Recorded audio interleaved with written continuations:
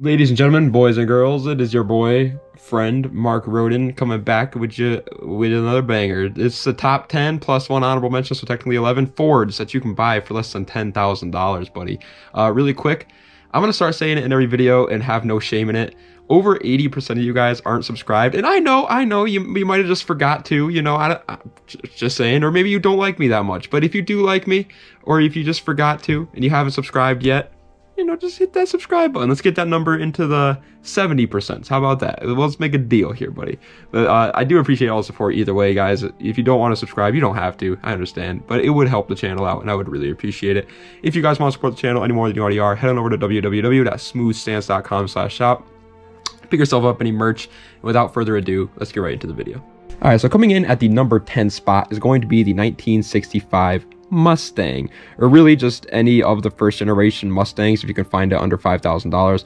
They all have different engines making different horsepower because back then they used to change engine sizes and like engine power all the damn time. Like every year it was a different horsepower. You guys ever notice that with old muscle cars? Old muscle cars, every year it's like is a completely different than the last year. I kind of like it. It was cool. But either way, though, the 65 Mustang was always going to be rear wheel drive and they had a manual transmission, which is awesome. Also, they are just like a living time capsule. Like you look, you look like freaking some guy from the 1960s driving around in one of these things. The only reason I didn't put this car much higher on the list is because they are very hard to find for under like $10,000 in good enough condition to be like worth it, to be honest. But it can be done. You just have to be really patient. Next up at the number 9 spot, however, is kind of the complete opposite of the Mustang, and it is the wonderful Ford Fusion, baby. Yes, sir, you already know the Ford Fusion is here to stay.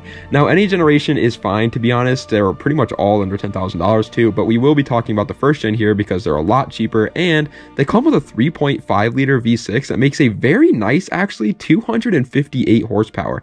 It was front wheel drive, but it also had all wheel drive options. And to be honest with you, that power number kind of surprised the shit out of me. Like, it's not fast by any means, but that's also not slow either. And like, remember guys, you can always mod these things to be a little bit faster. So if you don't like 258 horsepower.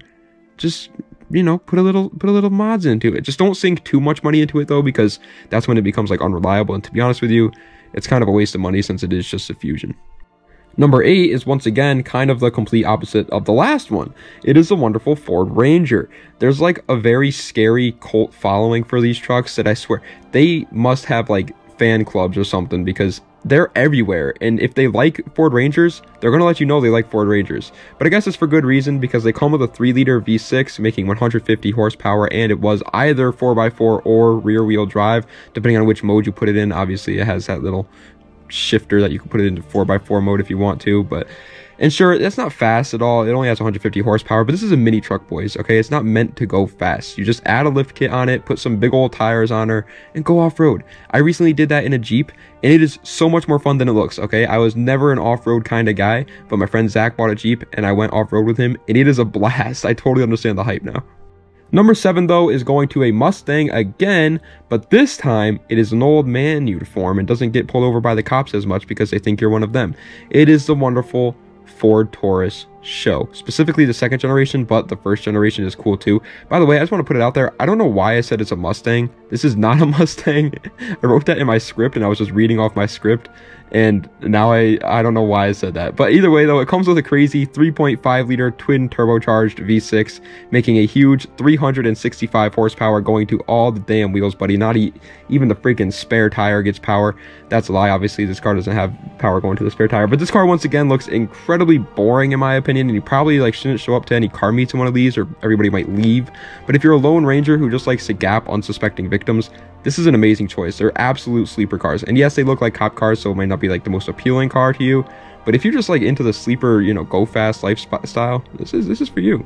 Number six, my good friend, goes to another car that the cops might not pull you over in, but only if you have access to time travel because it is the Ford Crown Victoria, my sir.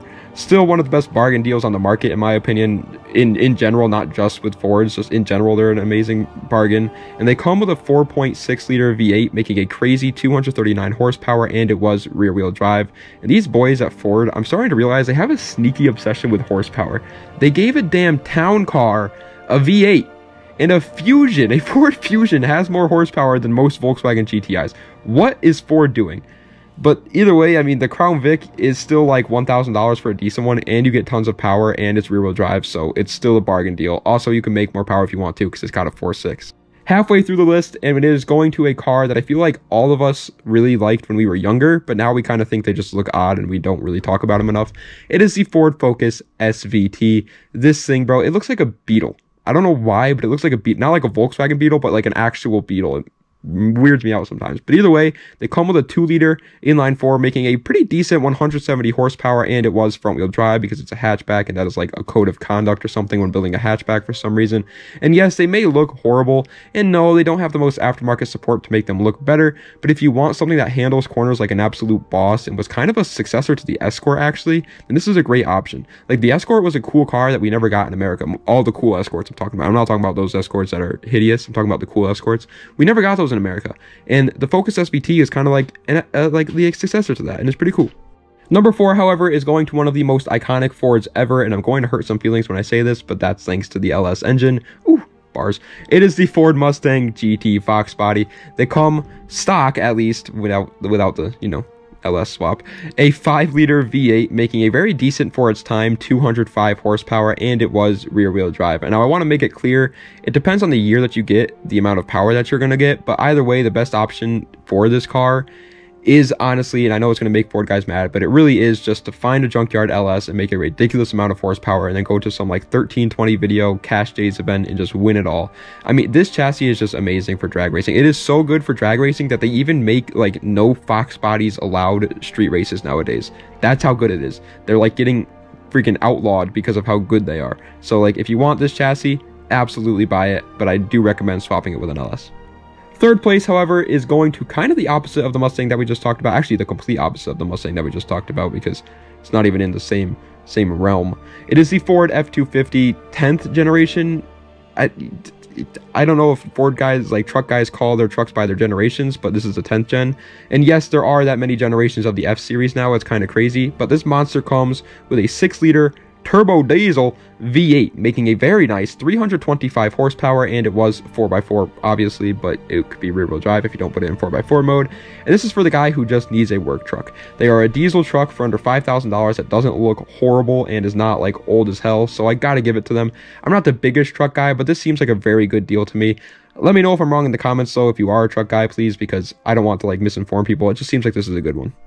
Second place is going to be one of the only tuner style cars to come from America that I wouldn't mind driving. It is the Ford Focus ST. Yes, they dropped the V and SVT because they are Ford and they make poor choices. It doesn't make any sense to me either.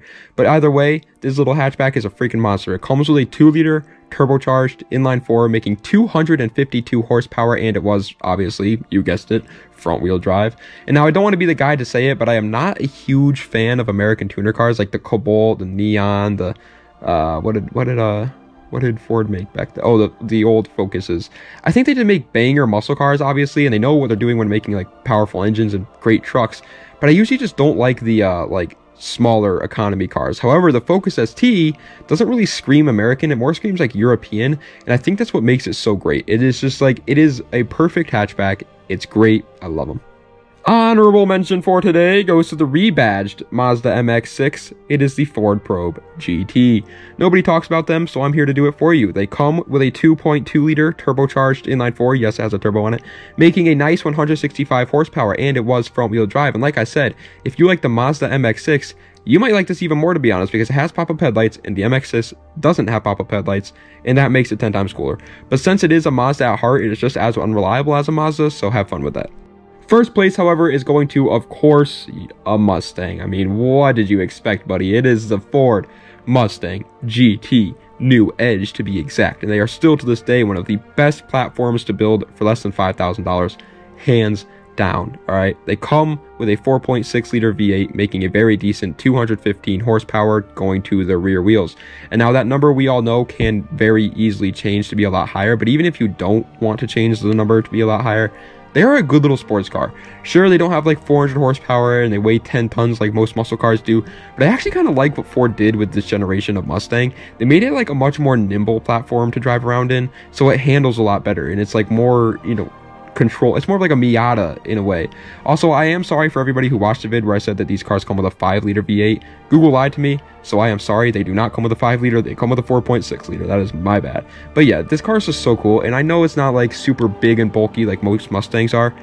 But I think that's what makes it so much cooler. Like it's it's a good handling car, but it can be fast if you want it to be. But ladies and gentlemen, that is the end of today's video of the top 10, technically 11 Fords that you can find under $10,000. Yes, sir once again, guys, make sure to subscribe to the channel if you haven't already because we're a little low on the subscriptions. They're a little low. Let me know what other videos you'd like to see. For In terms of the uh, Integra build, they haven't updated you guys on that yet. It's because I have nothing to update you on. I'm literally just sitting here waiting for parts. Once they get here, and I have a lot of parts too, so once they get here, it's going to be pretty frequent. We're going to try to do two videos a week, but most likely going to do one video a week so that it doesn't get super boring and it goes out the window super quick. We're going to try and like kind of draw it out a little bit so that you guys have more videos to watch throughout the length of time instead of just be like, here's a bunch of videos, Integra build's done. You know what I mean? Like that would just, I feel like that would be more boring than if it was like one video a week. But let me know what you guys want to see. If you want to see two videos of the car a week, I can do that. If you want to see one video of the car a week, I can do that. Obviously, money's an issue though. So if it's like going, if I'm like trying to buy wheels or something for it, or like, I don't know, something that's more expensive, like a wrap or something, that might take a little bit longer and it might not be two in one week. But you guys understand what I'm trying to say. Anyway, guys, thank you so much for watching. Das Vidania. Have a nice night.